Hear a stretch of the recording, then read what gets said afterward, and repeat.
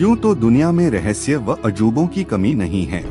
लेकिन कुछ ऐसी मान्यताएँ व परंपराएँ समाज में विकसित है जो तारीख बन जाती है। इसी में एक है सहोदरा, सुभद्रा, शक्तिपीठ। भारत नेपाल की सीमा पर गौनाहा प्रखंड के उत्तरी छोर पर अवस्थित है सुभद्रा स्थान, जो भारत सहित नेपाल के लाखों श्रद्धालुओं के आस्था का केंद्र है। जिसकी गिनती शक्तिपीठों में होती है। सहोदरा शक्तिपीठ का इतिहास सैकड़ों वर्ष पुराना है। यहाँ के लोग इसे महाभारत काल से जोड़ते हैं।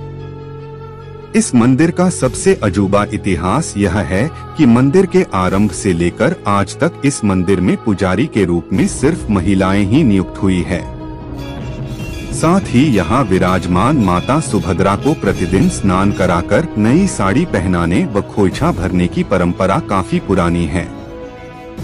नरकटियागंज, निज प्रतिनिधि, थरुहट क्षेत्र के प्रसिद्ध सुभद्रा माता मंदिर परिसर में चल रहा मेला चरम पर है।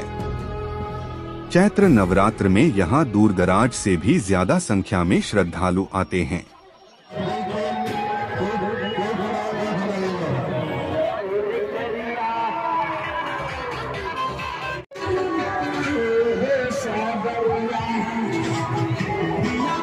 सुभद्रा स्थान के बारे में कई कहानियाँ प्रचलित है लेकिन बहुत कम लोग ही यह जानते हैं कि माता के दो सिर हैं, एक प्रतिमा में तो दूसरा प्रतिमा के बगल में बिना धड़ के रूप में विराजमान है। सुभद्रा माता का एक और स्थान है वर्तमान सुभद्रा मंदिर से करीब आठ किलोमीटर की दूरी पर धर्मपुर गाँव है जहाँ माँ का सिर था। मंदिर में स्थापित माँ की प्रतिमा के बगल में रखा सिर सुभद्रा स्थान की महता को और उजागर करता है। आश्विन नवरात्र और चैत्र नवरात्र में धर्मपुर गाँव से डोली में माता सुभद्रा के सिर को रखकर लाया जाता था। यह क्रम पिछले एक दशक से जारी था।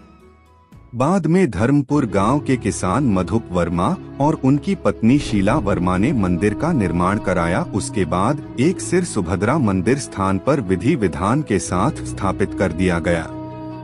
सुभद्रा स्थान के बारे में कई कहानियाँ प्रचलित है। कहा जाता है कि सुभद्रा द्वापर युग में कृष्ण की बहन थी। सुभद्रा ग्वालिन थी और बारह गाँवों में दही बेचती थी। सुभद्रा के शरीर पर दिव्य आभूषण था। एक बार बंजारे सुभद्रा का पीछा करने लगे और दिव्य आभूषणों को छीनने का प्रयास किया। इसी बीच सुभद्रा वहीं बर्तन फेंक अंतध्यान हो गई व पत्थर में परिवर्तित हो गई। मंदिर के संरक्षक व पुजारी शंभु गुरु बताते हैं कि सुभद्रा भगवती का रूप है और द्वापर में कृष्ण को भगवती रूप में दर्शन दिया था। सुभद्रा स्थान थरुहट के अलावा पूरे प्रदेश के शक्तिपीठों में से एक है। यहाँ मुख्यमंत्री नीतीश कुमार भी माता से आशीर्वाद लेने पहुँच चुके हैं। इस स्थान के विकास के लिए मुख्यमंत्री भी पहल करने की घोषणा कर चुके हैं। और मैं भी उम्मीद करता हूँ, मैं भी अपने स्तर से प्रयास करूँगा। चैत्र नवरात्र के अवसर पर सुभद्रा में लगने वाले मेले को लेकर भारत नेपाल सीमा के भिखनाठोरी बॉर्डर को वाल्मीकिनगर संसद सुनील कुमार महतो के पहल से खोल दी गई है। यह मेला अंतर्राष्ट्रीय मेला के नाम से जाना जाता है।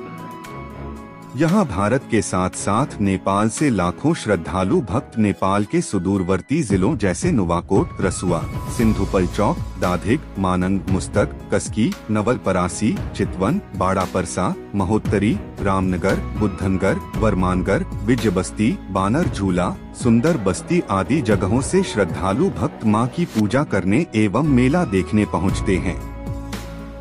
ठोरी नेपाल और भिखनाठोरी भारत के बीच जो बॉर्डर है, उस रास्ते से चार पहिया वाहन के आने जाने पर पूर्णतः रोक लगा दी गई थी, परंतु स्थानीय संसद व दोनों देशों के अधिकारियों के संयुक्त प्रयास से शनिवार को बॉर्डर को खोल दिया गया।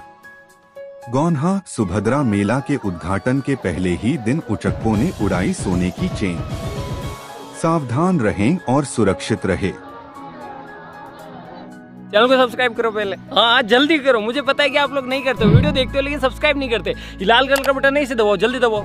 जल्दी दबाओ, फिर मैं शुरू करूँ। दबा दो जल्दी। दबा दिया। घंटी में दबा देना, ठीक।